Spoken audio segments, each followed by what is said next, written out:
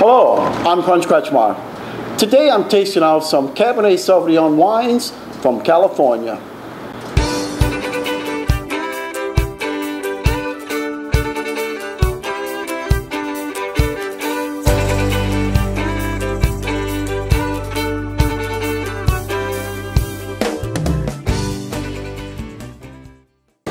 Welcome to Bottle Grapes, where I uncork Chicago's wine market one bottle at a time. Today I have two California Cabernet Sauvignons. I have the Castle Rock 2007 and the Hess Select 2007.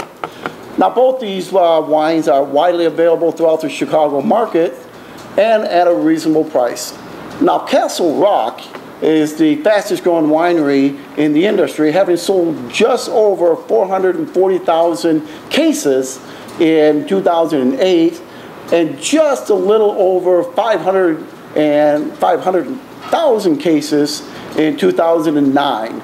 Now, it built a reputation for producing high quality wine at an affordable price. So let's give the Castle Rock a uh, taste out here. So,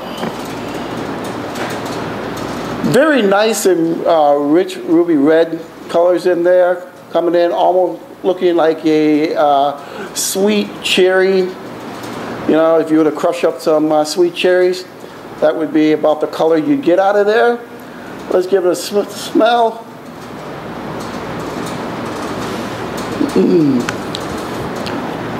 Nice red berries in there. Um, a little light, not too heavy. Great.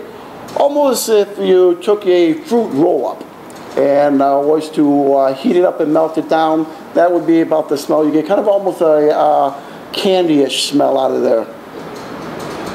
Mmm, very nice. So let's give it a taste now and see how this works out in the palate.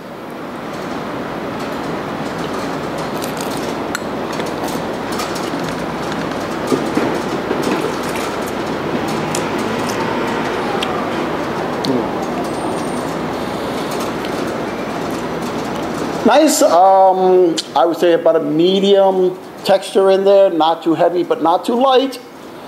Uh, fills the whole mouth, sides up there.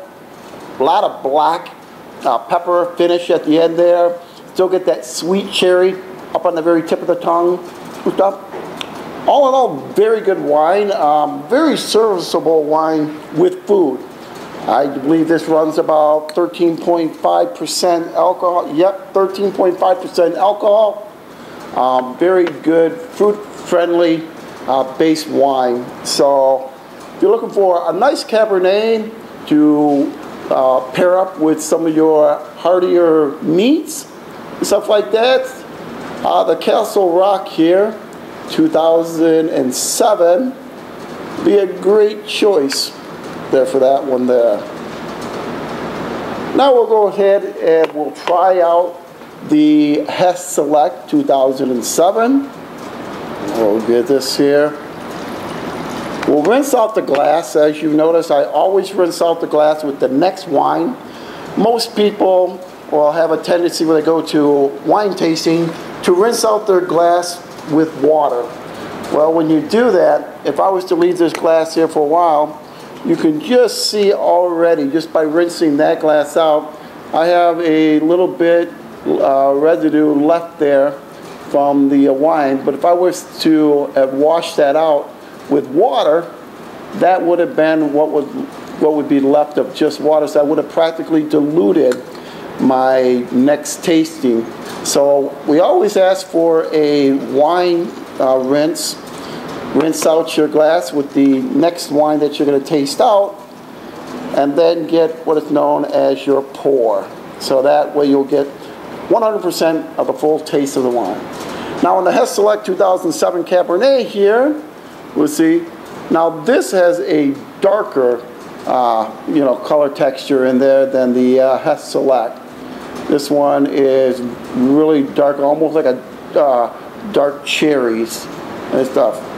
So this would be dark cherry as opposed to the sweet cherries from the um, uh, Castle Rock right there. So we'll give this one here a little smell out.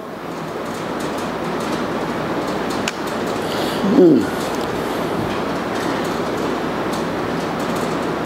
A little lighter on the nose, a little uh, aromatically challenged on this one here. There we go. Just needs to open up a little bit more.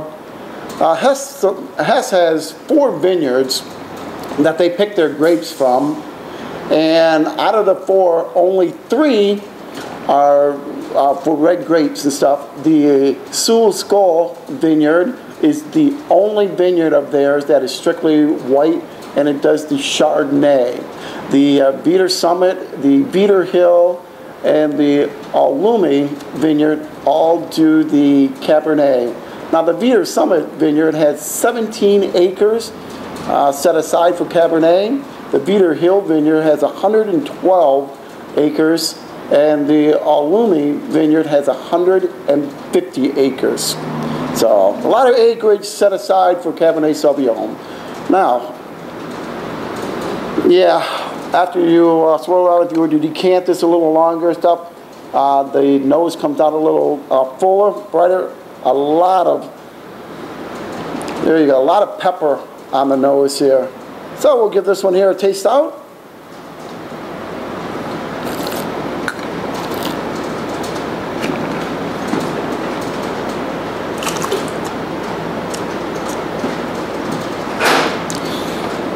That has a really big pepper finish at the end.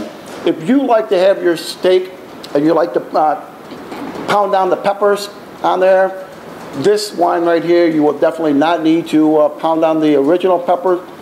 Grab that steak, put it on the uh, grill for five minutes on each side, pull that baby off, pour yourself a nice Hess Select right in there, and have that with it without putting the uh, dressings and the coatings on there you would really get a lot of the uh, black pepper up out of there. That's really good. It's Got a nice finish. Still lingering, lingering in my mouth. So, all in all, this is a very good fruit wine here. And this one is also 13.5% alcohol. So this here is, would be another great fruit-friendly wine to uh, seek out, especially now with the holiday season coming up. These wines here were purchased at Anderson Fine Wine and Spirits uh, on the corner of Foster and Clark up in Andersonville. Stop on by there. Tell the gentlemen that you saw it here on Bottle Grapes, and they'll hook you up. Well, this is Krunch Kretschmar. Tasted all, all the bad wines, so you don't have to.